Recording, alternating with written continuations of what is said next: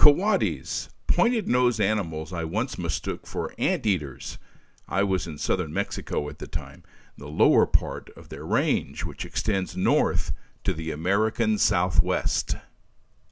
That pointed cone shaped snout is what fooled me.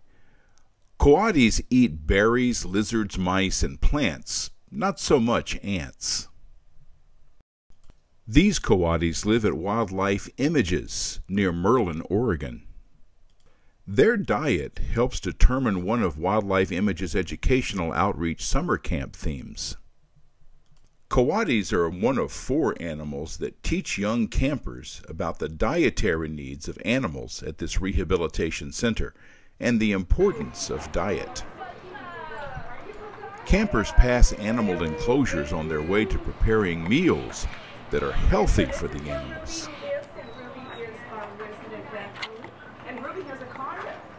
They're already learning about coatis as they approach the tent where they'll learn to be animal chefs.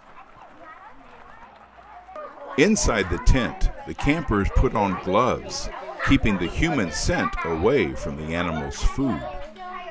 Everybody got your gloves going on? All right. Campers listen to instructions, learning what they'll be doing in the tent. What are you guys doing? The coatis. Do you guys remember who the coatis are?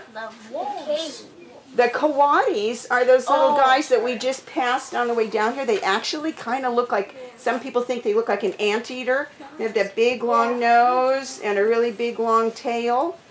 Um, we are going to make diets for them, and then we have a really special thing that we get to do with them. We get to go into their enclosure while they are in what we call their safety, the area where they sleep, and they're in there right now. And um, because they're in there, they're safe and we're safe. And we get to go into their enclosure and we get to put their diets in their enclosure and kind of hide them in different spots. And then we'll be able to watch them go in. We'll let them out of their safety and we'll be able to watch them go in and, and hunt for the food like they would in the wild. To mask the scent of humans in the coati enclosure, feathers are sprayed with a scented mist. Okay. You guys, so very little animals, animal scents are much stronger than ours, so we only spray a little bit. Okay, we'll start with Let's this. go. Have a cut. So you can uh, Yep, so you can. The campers gather dandelions for the animals. Do you have horses? The Coati group is excited. They've gathered grapes and other food, and they're ready to feed the coatis. All of the campers leave the tent and proceed toward the coati enclosure. The coati group enters the enclosure. Their campmates watch while they strategically place the food they've prepared.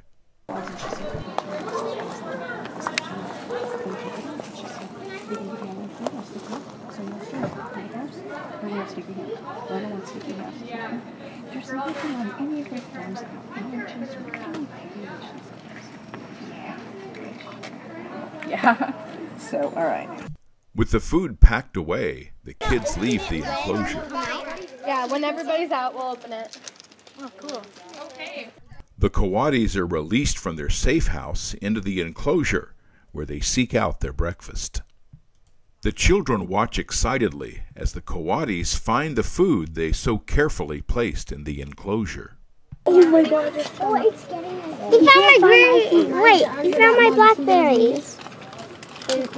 No, he's finding my food. Found my food. No. Oh, I see the leaves. I'm gonna go.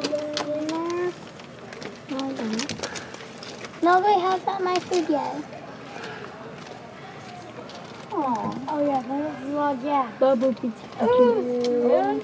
He's found a grape. Oh, piece of meat.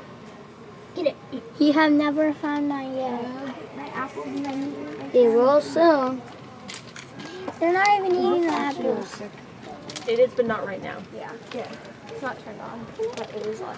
You'd know already. TV. I want to.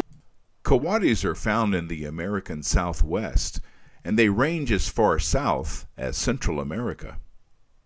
A coati's tail is typically as long as its body. That helps them balance while climbing. You can see these coatis and numerous other animals at Wildlife Images. For over 35 years, Wildlife Images has rehabilitated animals that are injured or otherwise in need of help. They plan even more educational outreach.